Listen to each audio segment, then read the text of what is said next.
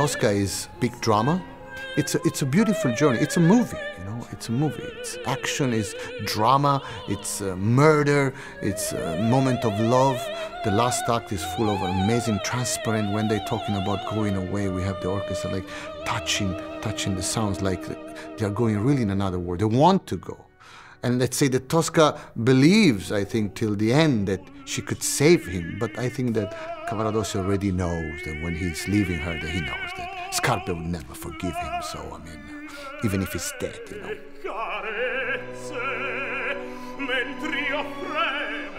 I love to discover every time something different.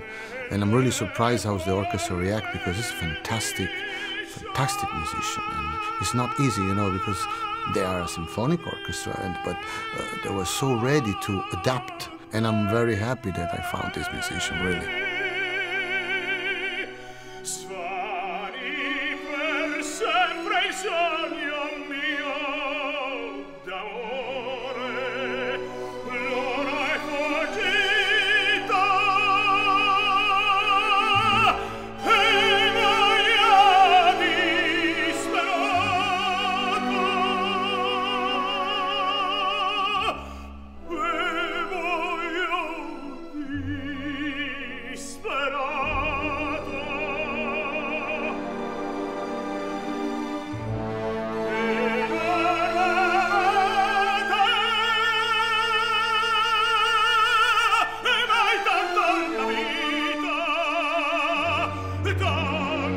Pentatone and Polyhymnia worked together with uh, RSB for many, many years. Many projects in this wonderful Sendesaal, Haus des Rundfunks, that has a particularly good acoustics that supports the orchestra tremendously. And it's uh, very exciting to do an opera in this way, which is now like a concertante uh, fashion, um, because you get the full sound of the orchestra and the way we uh, are able to position the soloists, it means we also have the great sound of the soloist with that. So it's it's an orchestral, um, like a Rolls Royce. It's it's really big, and still we have all the sounds of the of the soloists with that, um, and that makes it very special.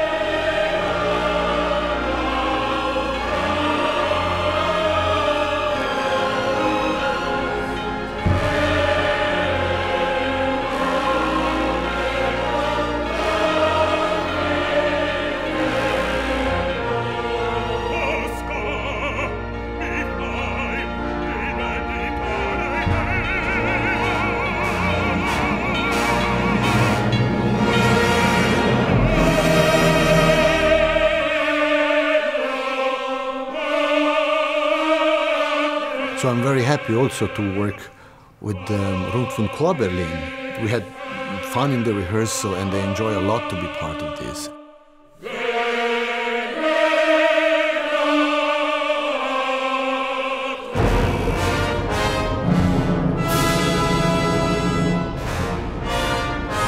close your eyes, you put your headphones, you put your speaker, and you listen. For sure, live performance live performance, but if you try to communicate these things, it can go through also the, every media you want to use. You know?